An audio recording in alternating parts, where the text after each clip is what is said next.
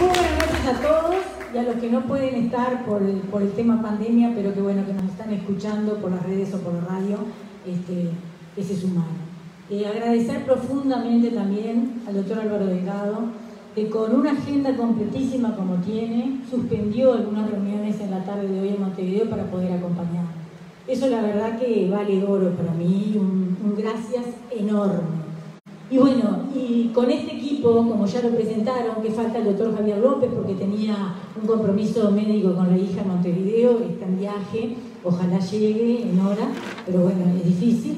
Este, le queríamos, bueno, eh, plantear brevemente las propuestas que tenemos para, para este quinqueño.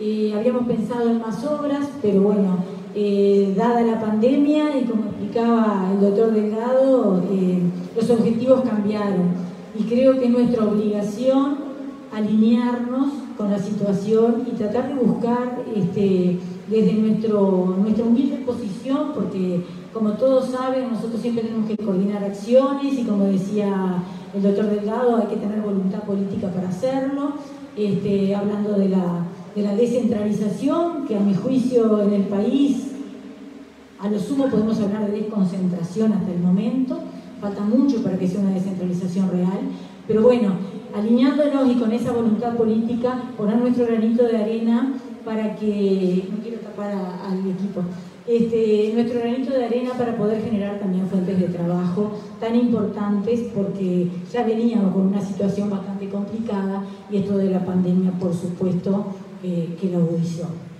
Entonces les voy a pedir a, a Marcelo que, que comience bueno, como ven el equipo, la verdad que es un gran equipo, un equipazo, ¿sí? Eh, ellos son como que dicen las caras visibles y los referentes, pero hay, hay falta equipo atrás que está y siempre ha estado. No quiero agradecer a las personas que siempre me apoyaron en estos cinco años, porque tengo miedo de olvidarme de alguna que me suele pasar y sería muy, muy feo de mi parte. Pero la verdad que siempre busqué eh, perfil y de repente sin dar a conocer su nombre, estuvo, y yo sé que estuvo. Y, siempre lo sentí así, así como siento ahora que el gobierno nacional nos apoya. Y más allá de que haya venido, podido venir el doctor Delgado, yo lo siento así cuando he ido a golpear puertas a Montevideo, están, están y están en serio. ¿sí? Y mismo cuando, cuando tuvieron que apoyar, que allá veo a la, a doctora González, directora del hospital, este, que está haciendo una obra impecable, como fue el Centro de Oncología y Cuidados Paliativos, estuvieron y estuvieron presentes y tenemos ambulancia nueva y siguen apostando y dos camas más en el CTI, aunando esfuerzos en el CTI de CAMI y bueno, y nosotros tenemos que plegarnos a ese gran trabajo que está haciendo el gobierno nacional entre toda esta adversidad para sacar a nuestro territorio adelante. Y por supuesto que con Pablo a nuestro departamento también, que le agradezco que también esté presente. Eh, por supuesto que el trabajo nuestro siempre está sujeto a la ley 19.272, la ley de descentralización, que bueno, que acá como ya sabemos se le dio la interpretación que el gobierno, que este, departamental quiso y no. Necrópolis, bueno, y alguna más que de repente se me escapa, pero digamos, el ABC y el resto de las funciones básicas de, de, del territorio tendrían que estar en y el gobierno departamental tiene por ley la obligación de darle los recursos humanos y los recursos económicos para que esto así se lleve a cabo.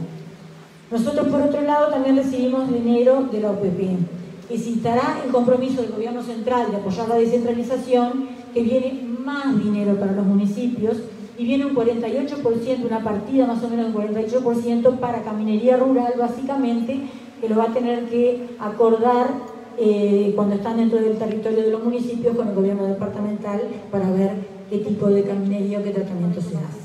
Por lo tanto, el apoyo está y las ganas de este equipo a continuar trabajando como lo hemos hecho, con transparencia, eh, poniéndole todo de nuestra parte para hacer una excelente gestión. Yo en la, en la campaña anterior siempre prometía trabajar, trabajar y trabajar. Y ese creo que va a ser la promesa de todo el equipo y así decide la ciudadanía que, que, sigamos adelante del municipio. Porque primero que no sabemos qué va a pasar, hacemos las propuestas y las vamos a poder cumplir con, o no. Pero creo que cuando uno tiene voluntad de hacer las cosas, ganas, y, lo hace con transparencia, eh, sabiendo que cada peso que tenemos no es nuestro, es de todos ustedes, de toda la ciudadanía, y tenemos que hacerlo rendir, creo que las cosas salen, vaya si salen.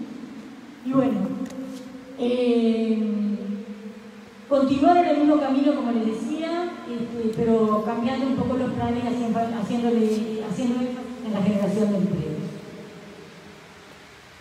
Estas palabras son claves, como hablábamos, descentralización y coordinación. O sea, descentralización, que era lo que venimos diciendo, y coordinación. Acá es fundamental coordinar con los tres niveles de gobierno.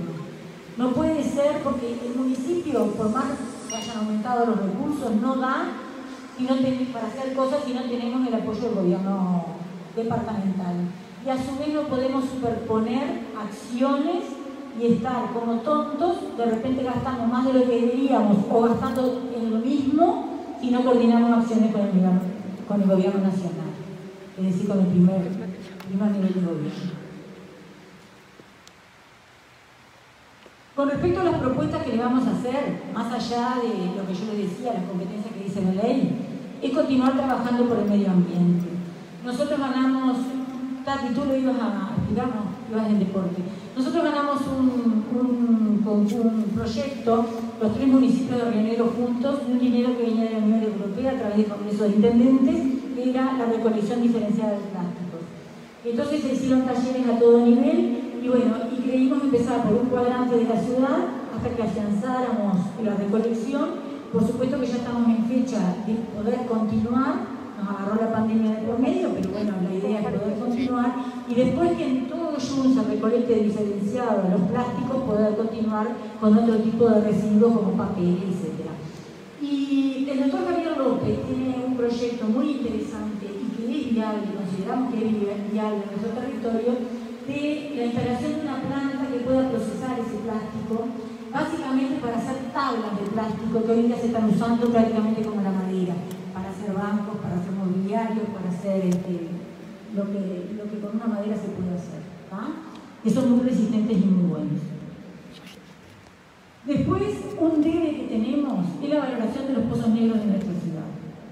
Eh, hay mucha gente que por no pagar barométrica está o pinchando los pozos negros o eh, antes de que se desborde sacan por un caño porque es nuestra realidad de repente a la comunidad está de la calle con lo que eso significa para, para la parte sanitaria ¿no?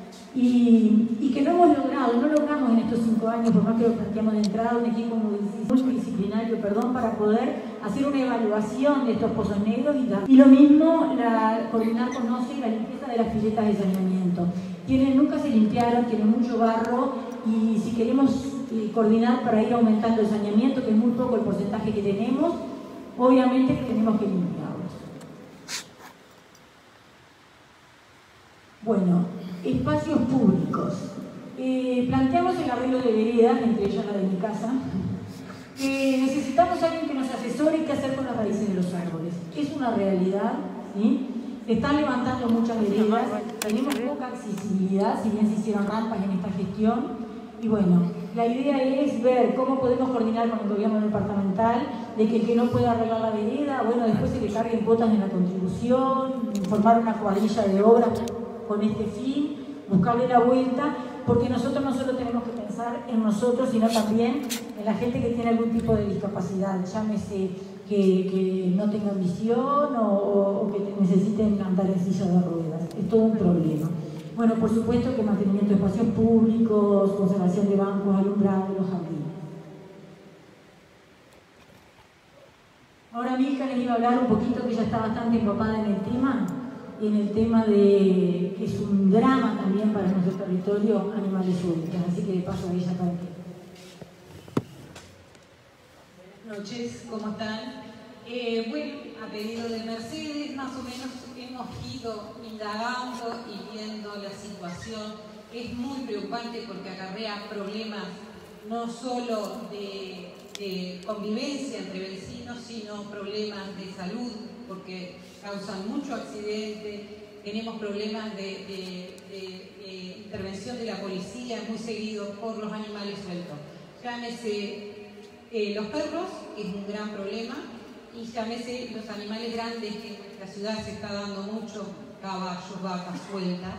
Eh, ya el municipio viene trabajando mucho con zoonosis, con las protectoras que hay en Jun, pero hay que aumentar eso, aumentar la cantidad de castraciones, fomentar que se, eh, la custodia responsable de esos animales, entonces apuntar a que el municipio, a través del municipio se fomente eh, mucho más acciones para que eso este, en algún momento tenga otra forma de ser.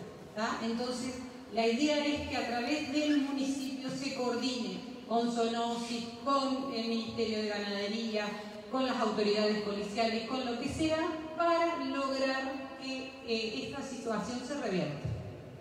Entonces, esa es la idea de que eh, trabajar en todos en conjunto. Por ahora es mi aporte. Gracias. Bueno, como le decía también, el mantenimiento de la calle y caminería rural, como dijimos, que viene un aporte extra, sobre todo para la caminería rural, que es muy importante ponernos de acuerdo y coordinar. Hemos visto que, eh, digo, es muy caro hacer calles y arreglar, y dado el monto de los arreglos, tenemos que hacer arreglos que, sean más duraderos, ¿no? Eh, si bien ha habido intervenciones en calles, este, a mi criterio, eh, no sé en qué ha fallado el tratamiento porque se han construido badenes que ya están rotos, se han construido calles que ya están bacheadas. Y eso significa, a mi juicio, un poco tirar el dinero en trabajos que no son muy eficaces. Eh, los eventos culturales, bueno, yo tengo muy arraigado, siempre lo digo, que la salud es un, combo, ¿no? Y entre ese combo está también la diversión. El estar sano no es solamente no tener patologías detectables entonces hicimos mucho hincapié en, eventos como carnaval, el aniversario de Jun Ciudad, festividades de verano, el festival de cumbia, muchas veces ideas que nos aportan, como Marcelo Piazzoli, que nos aportó el festival de cumbia, que tuvo un éxito bárbaro, con la idea de que vengan, se queden y poder continuar. Uno tenía festividades que nos caracterizaran y ganamos un proyecto con la OPP de agenda cultural adelante le vamos a comentar también, y entre lo que la gente opinó, porque participó mucha gente de esos talleres, fue justamente que no teníamos una fecha que nos identificara, como puede tener San Javier, la fiesta de Girasol, como puede tener otras comunidades. Y bueno, y ahí fue lo de, lo de iniciar el aniversario de Ciudad y mantener la fecha, y la verdad que ha sido un éxito. Y los festivales de verano también, la gente quedó muy contenta con ellos deporte a hablar Tati, que está bastante enfocado también en el deporte. Bueno, buenas noches para todos. En materia de deporte, nosotros lo que queríamos continuar es con el apoyo que el, municipio estuvo realizando a las diferentes instituciones para, para, fomentar el deporte como materia de salud también. Así que no fue claro el apoyo, no, no, no se dejó a ninguna institución, a todos los clubes de Badri, se les aportó más o menos una cantidad de mil dólares a cada uno.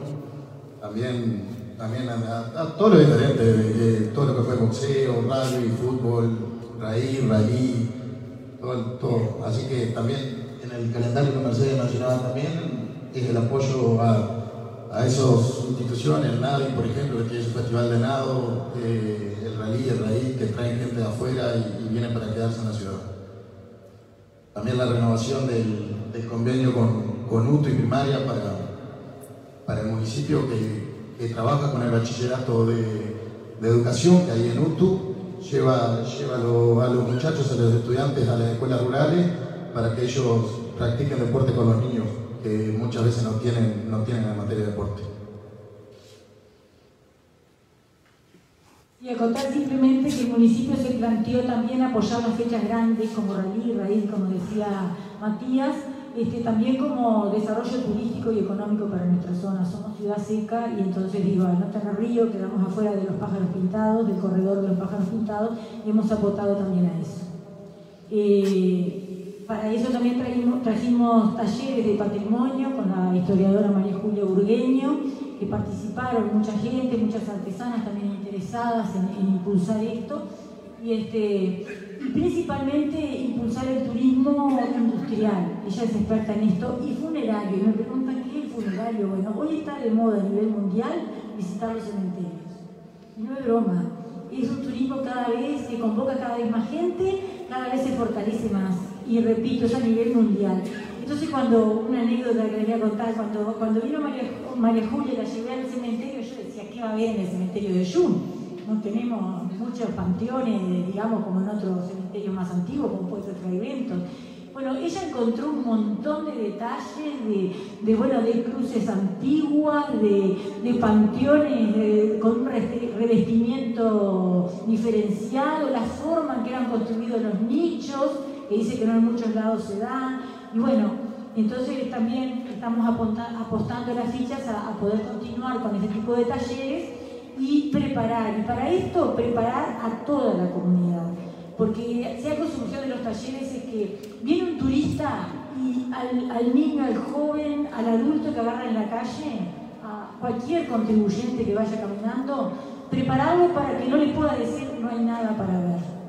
Decirle, no, tenemos un museo arqueológico departamental, puede ir tenemos industrias, tenemos, o sea, nunca el decirle en yo no hay nada. Tenemos muchas cosas para mostrar y a través de estos talleres lo vimos así, y, este, y que a veces nosotros no lo valoramos, como el balcón de Copagrán hecho por el Porrier, ¿ah? que es patrimonio también cultural en momento. También basándolo en el cementerio, es un gran debe que no pudimos lograr, lograr en estos años, la regularización de los nichos. O sea, son propiedades, hay que incluirlo en sucesiones y tenemos un gran problema de papeles de nichos Planteamos el cerramiento perimetral también, porque hay un gran debe de, parcelas para nichos que mucha gente quiere adquirir y el cementerio está quedando chico, que por suerte parece que ahora va a salir ese cerramiento, que fue planteado hace mucho tiempo, y la venta de nichos en situación de abandono, que también ha estado muy trancado, pero no por problemas del municipio, sino por el gobierno departamental. Después, eh, proponerle al gobierno departamental la posibilidad de alivio y exoneración de impuestos a las industrias o empresas que quieran ubicarse en nuestro territorio y que den mano de obra. Creo que eso hay que buscarle la vuelta y poder llamar a inversores a que vengan a, invertir acá y a poder dar mano de obra. Después, por ejemplo, planteamos, eh, acá siempre se le da la ropa a los funcionarios, una o dos mudas de invierno, una o dos mudas de verano. El municipio te lo dio siempre desde que asumimos, porque a veces demoraba la llegada de la ropa del gobierno, que venía del gobierno departamental y creo que acá podemos tener mano de obra para poder este, comenzar a hacerlo con, con, artesanos o gente capacitada local y que inclusive podamos extenderlo después a nivel departamental y, por qué no, a otro nivel también dentro del país. Eh, la elaboración de ladrillos y bloques. Comprometernos de repente a comprarlos a, gente que los construya acá en nuestro territorio y poder usarlo para nuestras obras. La, elaboración de plantines florales. Por ejemplo, solamente la Plaza Independencia, que generalmente decimos Plaza Artigas, en el recambio de plantines, si queremos tener un jardín bonito, lleva aproximadamente unos 8.000 plantines en el año. Solamente la Plaza Independencia. Imagínense cuántos plantines hay que tener si queremos tener una, una ciudad bien alegre, bien florida, este, que creemos que puede ser una buena opción para jefas de hogar que de repente hasta tienen chicos a su cargo pequeños que no pueden agarrar otro tipo de trabajo o como una extra. La reactivación del abasto. Esto nosotros nos movimos mucho con el doctor Javier López porque creíamos que podíamos dar mano de obra y que podía canalizarse la, producción, eso lo vas a hablar tú pero más adelante, ¿no? la, la, mucha gente que, tiene una vaca, dos vacas, cuando la quieren vender es un drama porque tiene que llenar un camión recorriendo todas las chacras o los lugares donde están produciendo para poder venderla. Y con muy poca cosa se puede reactivar el abasto. Nosotros habíamos hablado con INAC, hablado con, a nivel de Montevideo, con el ministerio, pero bueno, no, no tuvimos apoyo a nivel departamental como para hacerlo. Y, este, bueno, lo de las tablas de plástico que le había ya de, la elaboración. Continuar apoyando las ferias vecinales, creemos que es una buena opción, darle todo el apoyo, fomentarlas y que la ilusión del municipio llegó un momento que era poder hacer una mini feria de esta baja. El que tenía un picaporte viejo lo pudiera vender, siempre hay alguien para comprar lo que otro no lo quiere, ¿no? este, cosas antiguas, siempre basándonos en el reglamento vigente que se reformó y que impide que se vendan cosas este, nuevas, salvo que sean artesanías hechas por la, por, la gente que lo vende, ¿no? Para no competir, por supuesto, con los comercios ya establecidos y que pagan impuestos.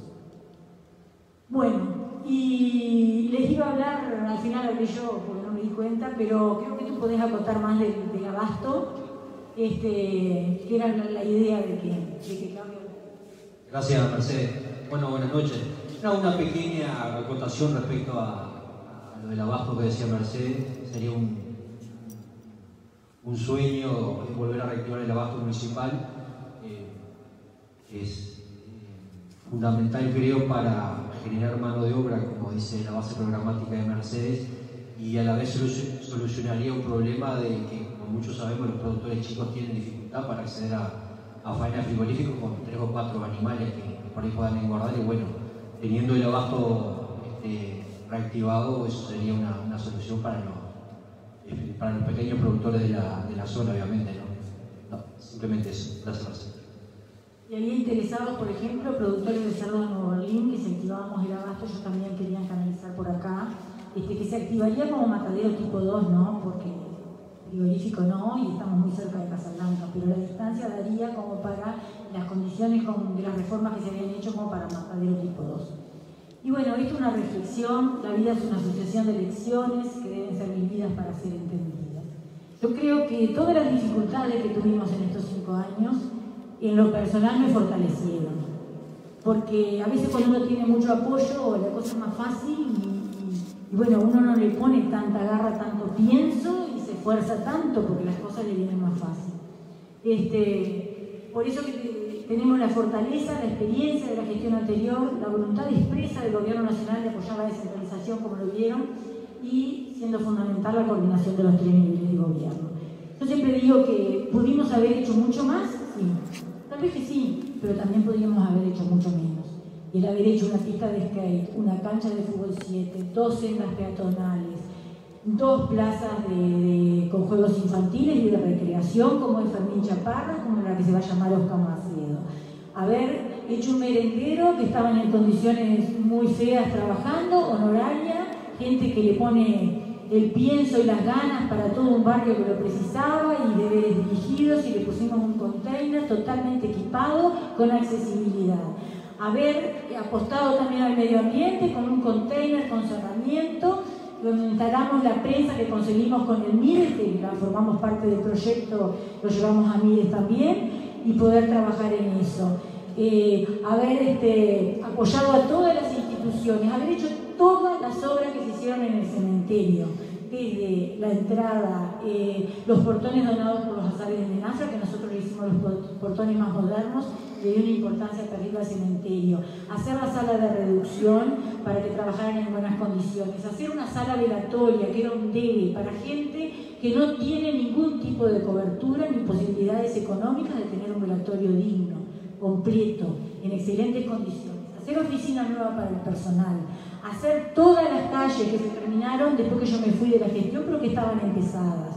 ¿ah? Hacer, donde era la oficina vieja, una sala de reunión para los funcionarios. Eh, poder arreglar los baños para usuarios haciendo accesibles los baños. Quedar tres baños, uno de ellos accesible, completamente nuevos, modernos. ¿sí? Hacer un osario nuevo, que era otro debe. Hacer el cerramiento del cementerio. Para todo eso quedó el dinero. Por ejemplo, la plaza frente al Yunguito se terminó en la gestión de esta alcalde Griselda Quevoise, pero quedó todo, todo comprado. Y con una impotencia de que muchas veces pudimos haber hecho muchísimo más, pero teníamos que terciarizar la mayoría, la mayoría de las obras porque no teníamos el apoyo del gobierno departamental. Por eso está bueno que la UPP penalice, que es la idea, a las intendencias que no cumplan los compromisos de gestión. Porque todas esas obras al comenzar el año se acordaban con la Intendencia y nos tenían que dar los recursos humanos para que nosotros poniendo el dinero, eh, poniendo el dinero, pudiéramos llevarlas a cabo. En el 2016 tenían que haberse hecho las dos sendas peatonales. Solo la Intendencia nos dio la mano de obra, porque desde el primer banco hasta el último electrodo que se usó en la obra, lo puso el municipio. Nos dieron la mano de obra y maquinaria para hacer aquella senda, ya la otra no la hicieron. Y antes de irme, para que ustedes vean que es muy fácil decir que esta loquita, porque así me tienen, pero ser loquita significa luchar por mi territorio y por mi gente. Voy a seguir más loquita que nunca. Cuando antes de irme quise coordinar, porque nosotros teníamos todo comprado y teníamos este, presupuesto para terciarizar la, iluminación de la senda peatonal ingresando por Fraiventos, fui a hablar a Fraiventos, estaba el ingeniero Casay de licencia, estaba ocupando su lugar el hoy intendente ingeniero Lebrato, y le dije, las luces están en unos caños que eran del ángulo, y están muy feas y se mueven. Si ustedes se comprometen a pararnos las columnas y hacer la instalación eléctrica, nosotros compramos las columnas que eran muchísimo más costosas, porque eran las altas de hormigón, y ponemos para un lado los focos que tenemos comprados para la senda peatonal y ustedes ponen los mismos focos para el otro y iluminan la calle. Pues esta alcalde que está hoy ejerciendo el cargo tuvo que terciarizar el parado de columnas, porque tampoco se cumplió. Esperemos que le den el electricista para hacer la instalación eléctrica. Y para todo eso quedó todo previsto el dinero.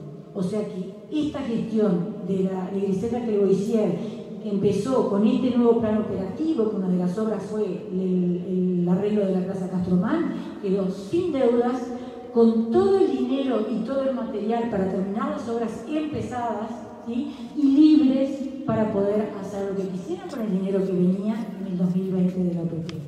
Creo que eso es muy importante porque hicimos un trabajo transparente, siempre tratando de coordinar.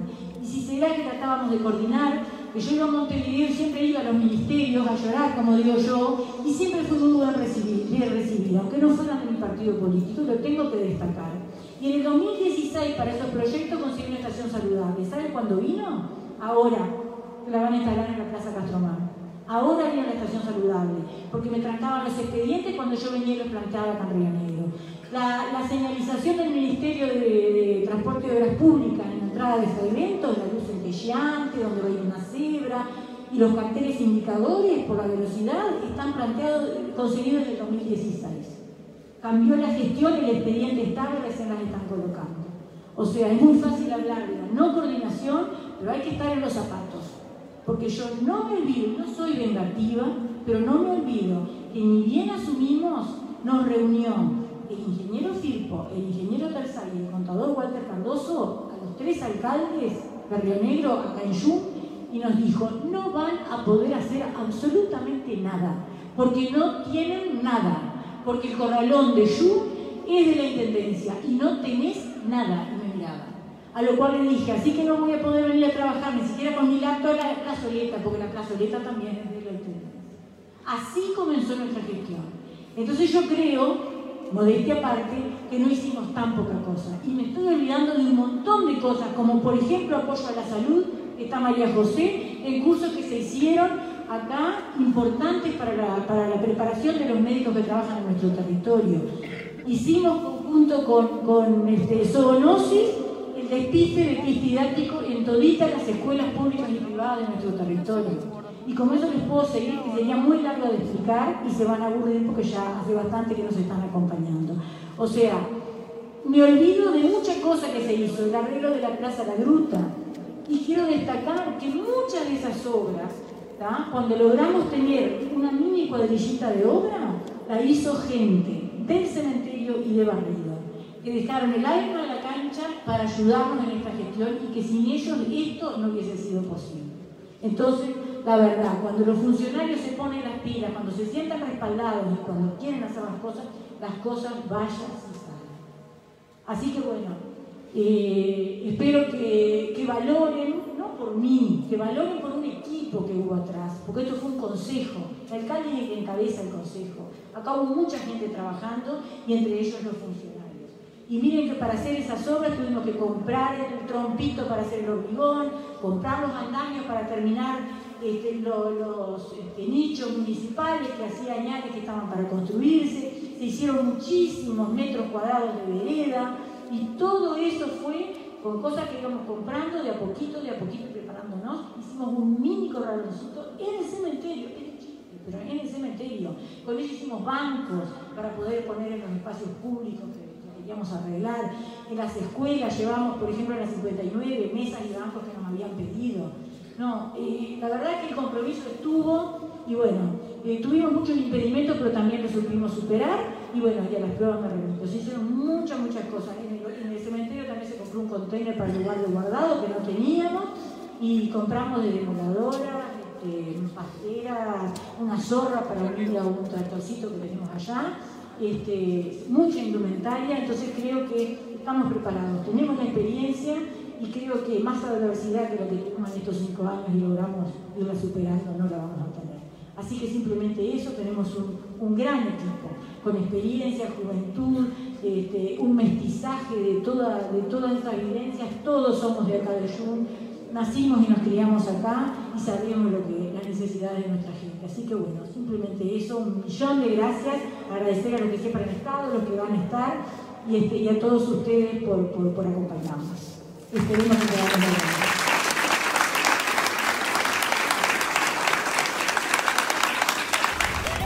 Cadena RAI. Seguinos en.